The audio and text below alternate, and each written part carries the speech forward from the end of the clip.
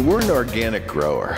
Um, when we put a plan in place at the beginning of the year, um, it's an organic growth plan. And then we budget, you know, four, six hundred million dollars in acquisitions and we underspend. We've underspent every year but one. When I, when I lay out a plan, I say, first give me the organic growth plan, and it needs to be double digit and then we can add inorganic on top of it. Because in the service business, I find you really have to protect against people thinking they're just going to grow through acquisition. Because then you lose the plot on the core. And if your core can't grow you should be fixing it and not trying to buy the growth somewhere else. We sell solutions big, complex solutions. And we need assets for our stack. And whether the stack has to do with smart grid, whether it has to do with medical technology, whether it has to do with big data um, in you know, certain different dimensions, whether it has to do with supply chain, um, we're looking for assets because in the service business, there is no leverage unless you have assets.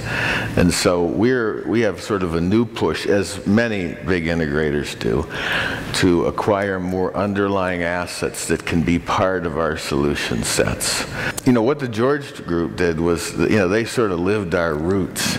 And so, you know, they were able to come in, and, and importantly, um, come in and take a leadership role in the firm, right? I mean, we gave them our stuff. We didn't take them and put them in our thing.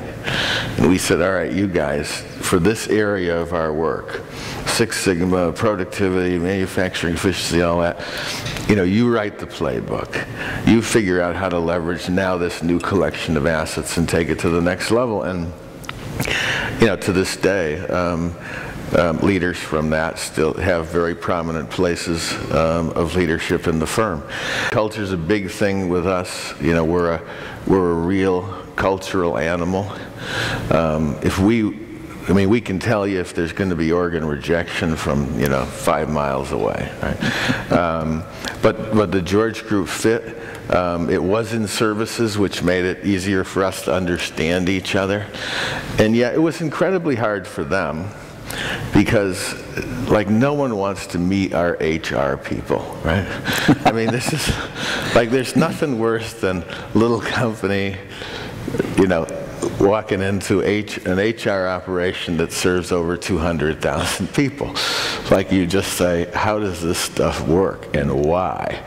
And so we've had to be thoughtful about wrapping some of them in cotton and uh, you know getting some of our own our own things out of the way.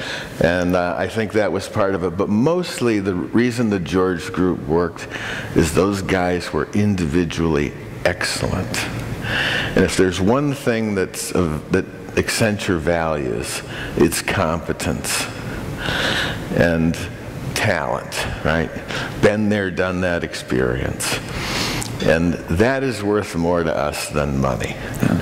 And our people are proud, and all we expect our partners or you know, someone we acquire is to be as good at what they do as we think we are at what we do. It's just that simple.